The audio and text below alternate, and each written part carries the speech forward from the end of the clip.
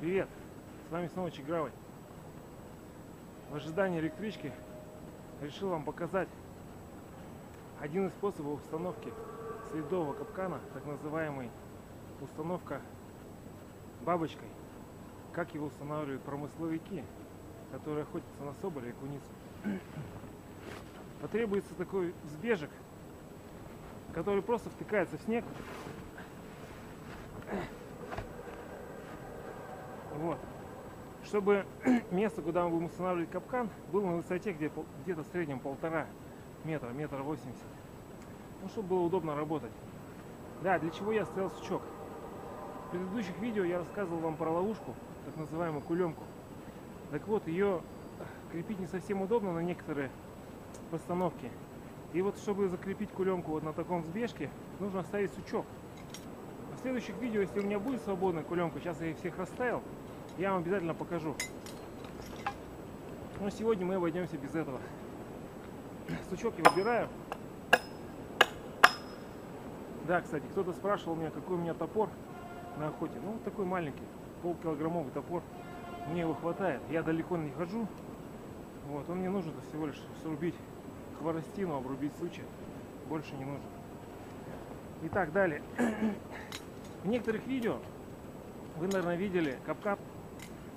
Капкан многозахватывающий. Уралец номер один. Этот капкан запрещен для ловли куниц на территории Российской Федерации.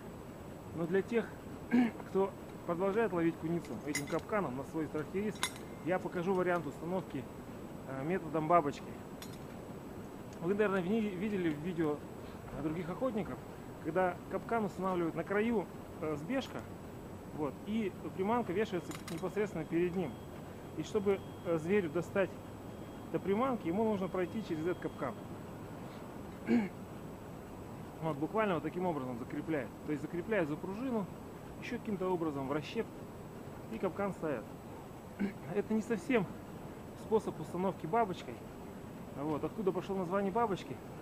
Бабочка это когда капкан находится, ну я сейчас наклонил слишком сильно в вашу сторону, когда он находится вот в таком положении на взбежке. То есть как будто бабочка сидит на стволе дерева. Нам потребуется проволока, всего лишь проволока. Я вам покажу несколько способов, которые мне известны. Первый способ. Вставляю проволоку э, в кольцо карабина и приматываю ее, на край взбежка. Буквально вот таким образом. Примотать следует достаточно прочно, потому что в таком положении, так, я пока цепь уберу, такой способ э, можно использовать, когда у вас нет цепочки. В таком положении соболь будет висеть. Далее капкан ставится на взбежек, пружины э, дугами обязательно в сторону соболя. Капкан при такой установке вперед пружина не ставят. Вот, под рамку продевается проволока и в натяг делается один оборот. Все. Капкан не болтается. Дальше берется приманка и подвешивается на самый край этой установки. Все. Сейчас немножко отойду. Вот. Это так называемая установка капкана бабочка. Видите, у меня капкан легко болтается. Для чего это нужно? Когда куница попадает в капкан, она начинает ну, трясти его, и капкан срывается. И куница повисает на взбежке. Первый способ. Второй способ. Когда вы используете проволоку. В этом случае можно привязать также за проволоку. Э, Я обычно так не делаю. Я прикручиваю саморезом проволоку. Причем прикручиваю не в торец взбежка, а поперек, чтобы шуруп шел поперек волокон. Тогда он держится прочнее. Также этот способ с использованием шурупа, ну или самореза я делаю. Он мне нравится тем, что создает хотя бы хоть какую-то мне небольшую уверенность в том, что мой капкан не пропадет. Не каждый человек ходит в лес с капканом, ой, с, с отверткой, и выкрутить саморез ему ну, достаточно будет проблематично. Он, конечно, может его сломать, с дури. Сломать можно все, что угодно. Вот, следующий способ постановки капкана бабочкой. Делаем цепь в натяг, то есть цепь упираем в торец с бежка, натягиваем капкан, э, под основание проводится проволочка, и также делается всего лишь один оборотик, чтобы капкан не болтался. Для чего это нужно? Когда куница пойдет по взбежку, видите, сработал. То есть вот таким способом можно проверить, э, достаточно ли хорошо его примотали или нет. Еще раз поставим. Да, смотрите, э, это я показываю. То есть в моих видео очень много информации для, для начинающих охотников, поэтому я прошу охотников опытных на некоторые мои вещи смотреть снисходительно, потому что они предназначаются не для вас. Вы все это знаете, умеете лучше меня, поэтому, ну не знаю, мои фильмы, может быть, для вас будут как просто развлечение. Возможно, что-то полезное почерпнете. Вот, еще раз показываю. Вот. Можно, конечно, по, покрепче примотать. Да, вместо проволоки можно использовать нитку. Еще есть способ, когда нитку привязывают в один-два витка на пружину. Когда капкан срабатывает, мощь пружины позволяет ему порвать нитку. И капкан тоже слетает. Вот мы поставили. Вот видите, капкан держится. Куница по нему зашла. Да, забыл приманку подвесить. Приманку можно в этом случае подвешивать на цепочку. Вот, какой нюанс. Некоторые вот так вот вешают приманку, да? Не совсем правильно. Куница может ее доставать. Конечно, есть вероятность, что она попадется, но э, куница настолько хитрый зверь, э, что она может ну, достать в таком случае приманку, просто прыгнуть ее сбить. Поэтому ее ставят вот таким образом. Она будет ее пытаться брать вот с этого положения. То есть она в этом случае в капкан не пойдет. Ладно, покажу вам. Вот, она лапами будет держаться за ствол, пролазить будет и, надеюсь, попадет в капкан. Вот этой лапой, да? Как правило, при такой постановке куница попадает в капкан передней лапой. Так вот, для новичков показываю, как настораживать капкан. То есть вы извели и вот под этой пружиной работайте с капканом. Если он сработал, ваши руки остались целыми внутри капкана.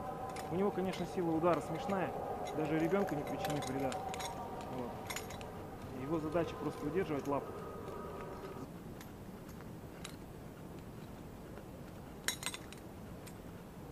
Итак, показываю, как нужно сводить. То есть перекидываем сторожок и работаем с капканом вот под этой свободной дугой, душкой. Э, эту привычку нужно вырабатывать даже с маленьких капканов, для того, чтобы когда вы будете работать с мощными капканами, ну, вам не досталось по пальцам. Вот. Дальше я подкладываю большой палец под пяточку и могу выправить пружину. Вот таким же образом я э, снимаю настороженные капканы. То есть в некоторых видео я видел, люди прям ударяют палками, потом его выкорчевывают. То есть я поднимаю, нажимаю изнутри. Все, капкан срабатывает. Не причиняет мне никакого беспокойства и вреда. Так, два, два способа я вам показал. Они, в принципе, похожи. Третий способ. Он, в принципе, такой же. Похожий, да? То есть, когда капкан намертво привязывается. То есть берется проволока помощнее.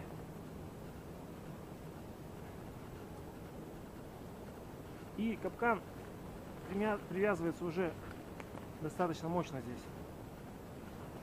Но сейчас я не могу на скидку придумать случаи, для которых такая установка нужна. Вот куница, когда в него попадает, она так и остается здесь висеть на капкане.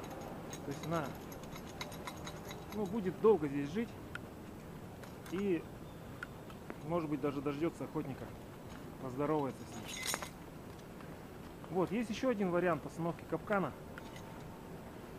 Когда у вас под рукой не оказалось лишней проволоки, или вы э, пережив... ну, переживаете, не уверены в том, что у вас э, куница порвет проволоку, которая у вас есть. Так, где у меня топор? Только что было.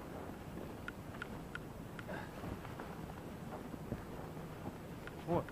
Для этого способа нужна площадка на сбежке. Мы дел, делаем надпил здесь э, ножовкой. Ну, можно топором, если как бы вы умеете работать с топором, можно сделать это все топором. То есть делается такая вот ровная площадка. Вот, сводится капкан. Да что ж ты зажимается?